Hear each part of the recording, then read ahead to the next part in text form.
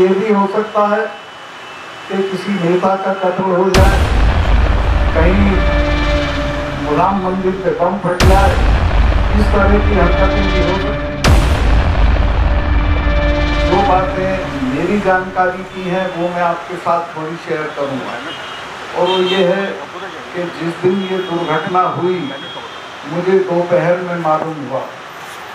मैं उसमें बहुत व्यथित था, बहुत उत्प्रेरित था। और मुझसे जिस चैनल ने भी मांगा, मैंने उसको कहा कि ये हमारी भूल से हमारी गलती से हुआ। और हमारी गलती क्या थी? चार महीने से सीआरपीएफ की रिक्वेस्ट पेंडिंग थी होम मिनिस्ट्री में जहाज़ देने के लिए। वो कोई बड़ी चीज़ नहीं है। मैं तो जब स्टूडेंट्स फंस जाते थे सर्दियों में, उनकी एयर लिफ्टिंग कराता था। दिल्ली के एयरपोर्ट से किराए पे मिल जाते हैं, जहाज़, कोई दिक्कत नहीं है। लेकिन चार महीने पेंडिंग रखने के बाद उनको ब्लैंकेट मना कर दिया गया और फिर वो सड़क के रास्ते से चले।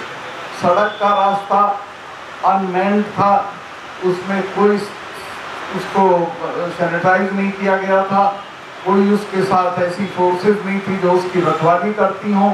और आठ दस, मैं वहाँ गया हूँ, आठ दस वहाँ लिंक रोड मिलती है उस हाईवे पे। एक भी मैन नहीं थी। वहाँ जिप्सी होनी चाहिए।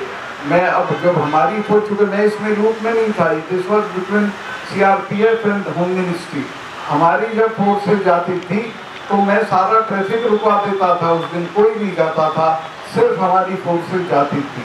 तो अगर ये कर दिया गया होता तो ये नहीं रुकता, लेकिन एक भी जगह लिंक रोड मैन नहीं थी।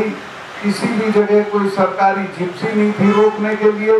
और एक तरह से मुझे लगता है कि ये तय था कि इनको मरवाई दिया जाए। खैर, बहुत बड़ी ट्रेजेडी हो गई। और मैं काफ़ी दुखी था। मुझसे जब पूछा चैनल वालों ने, दो तीन चैनल को मैंने कह भी दिया कि हमारी गलती से हुआ है। प्रधानमंत्री को मैं ढूंढता रहा, वो मुझे मिले नहीं। और जब मिले आफ्टरनून में तो मैंने उनको बताया कि ऐसे ऐसे हुआ और इसमें हमारी भी गलती है। तो उन्होंने छूटते ही कहा कि चुप रहो इस पर मैं समझा शायद कोई जाँच वाँच कराएँगे। इसके बाद एक घंटे बाद नेशनल सिक्योरिटी एडवाइजर का फ़ोन आया। उन्होंने कहा, सतपाल भाई, आप इस पर कुछ बोल दी हो क्या? मैं कहाँ बोल दिया हूँ यानी अब नहीं बोलना चुप रहना। मुझे नहीं पता था कि ये अब इसको पाकिस्तान के दहलीज पे डाल देंगे और इस पर चुनाव लड़ देंगे। और वही हुआ, जो मेरा डर था। तीन दिन बाद उन्होंने इसको चुनाव का मुद्दा बना दिया और इसी पे चुनाव लड़ा। उनकी कई एक स्पीचेस हैं जिनमें वो कहते हैं कि जब वोट डालने जाओ तो पुलवामा के शहीदों को याद रखना। तो पुलवामा के शहीदों को याद रख के आपने वोट ले लिए और आज तक पुलवामा के शहीदों की जो इंक्वायरी आज तक नहीं हुई है। और मैं आपको एक बात और बताता चलूँ। इसमें अब भी इंक्वायरी नहीं होगी। फिरोज भाई इंक्वायरी के बजाय आप और मैं हम लोगों के ऊपर मुकदमे दर्ज होंगे। मैं इस सरकार की नीयत और इनकी हरकतों को जानता हूँ। ये कुछ नहीं करेंगे इनको किसी से मोहब्बत नहीं है और ये अपने हमारे जवानों के खून को ज़ाया जाने देंगे और इनके काम आ सकेगा तो उसको काम में देंगे एक चीज़ और कह दूँ और वो ये कि ये आ, आगे वो लोग कर क्या सकते हैं? आगे वो लोग कर क्या सकते हैं? वो भी बंद कर दिया। और ये भी हो सकता है कि किसी नेता का कत्ल हो जाए। कहीं राम मंदिर पे बम फट जाए।